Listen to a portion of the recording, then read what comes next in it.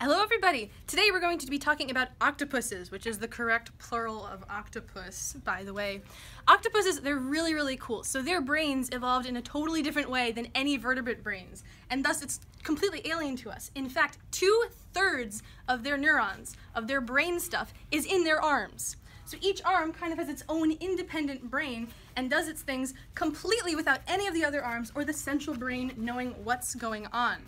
So next time that you see an octopus, see if you can tell that it, it acts kind of like there are nine little organisms all at once, like this funny little octopus right here.